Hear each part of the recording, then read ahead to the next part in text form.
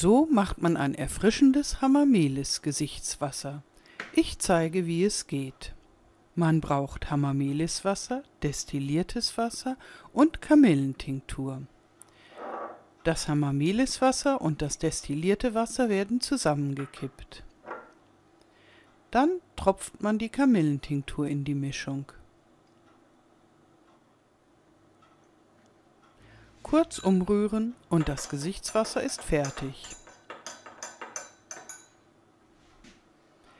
Jetzt kann man es in eine Flasche umfüllen, am besten in eine Sprühflasche.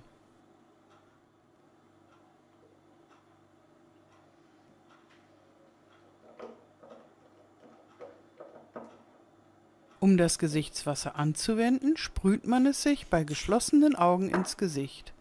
Trocknen lassen oder mit einem Kosmetiktuch abtrocknen. Nun sollte man das Gesichtswasser noch beschriften. Gutes Gelingen